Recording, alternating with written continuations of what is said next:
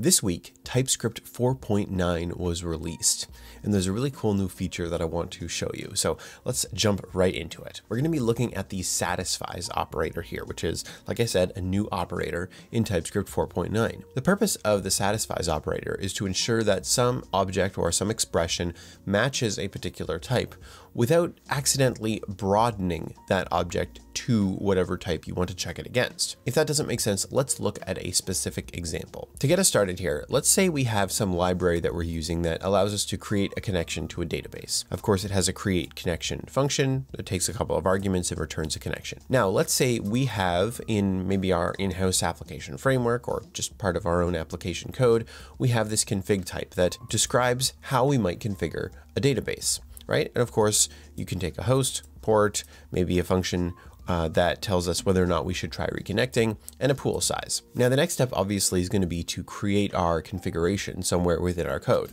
So let's go ahead and create a config object. We have this config type, so it seems to make sense that we would make sure that this variable is declared as a config type. And then we can fill in our config here. Now, of course, I'm just going to hard code this host and port for this example, but you could imagine pulling these from environment variables or some other config repository. Either way, they're going to be typed, of course, as host being a string and port being a number. Now notice here we say port is a string or a number, which makes sense because config has port as a string or a number. And I think you're already seeing where some of the type differences here might lie. We know that for this particular config object, port is a number. However, when we say it should be of type config, then instead we see that port is actually a string or a number. That might seem pretty harmless, but now let's say we actually need to use this config to call our create connection function.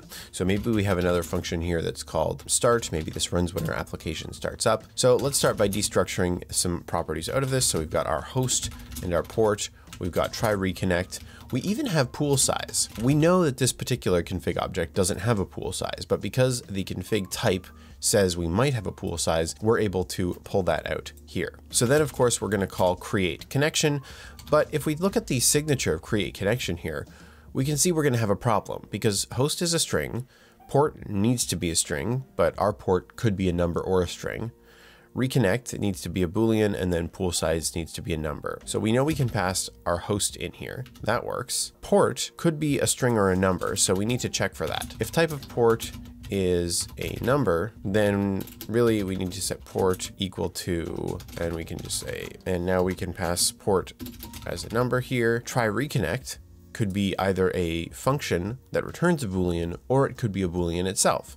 So we're going to need to do something similar there. We can say if type of try reconnect does not equal a boolean, try reconnect can equal calling try reconnect. And finally, we need a pool size. Now, pool size might be undefined. So finally we can say if there's no pool size, then we'll set pool size equal to say 10. And there we go. All of that works. So now we have a successful call to create connection because we've changed the types of each of these variables as we go along. Now it's kind of a shame that we have to narrow the types of port try reconnect, and pool size because we already know what those types are based on our hard-coded object here. This is actually in our code. This isn't a dynamic object, you know, coming from a database or some other source.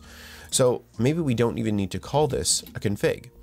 And if we do that, then what we can see here is that now, while we have a couple of errors, first of all, pool size is not something we can pull out because it doesn't exist at all. So maybe we'll just hard code that as a 10. We know that try reconnect is a function always, so we can just call it in line like that. We know that port is just a number now and we're complaining that we can't reassign and change the type.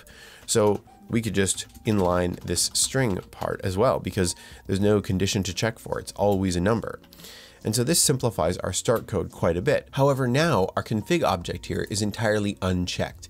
If we start deviating from what is an acceptable config shape, there's no way for us to be alerted about that. Well, this is where satisfies comes in. We add satisfies as an operator after the object, kind of like the as operator if you're casting a particular type. In this case, we're not casting a type. We're just saying that this config object should satisfy config. And what this means now is that if we start making changes to this config object that aren't in line with the config type, then TypeScript will warn us about that. For example, what if we added pool is 10 to this? Well, immediately we're going to get a warning because pool is not a property of config.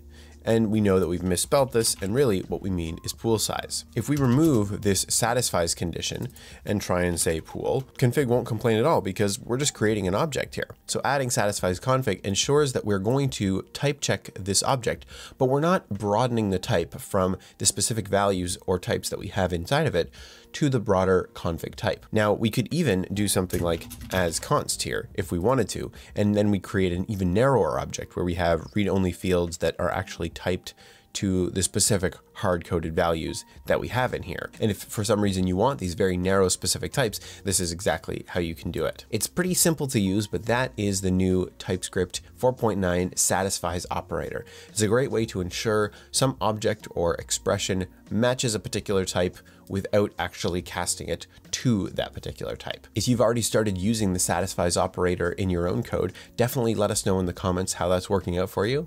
Thanks for watching, and I'll see you in the next one.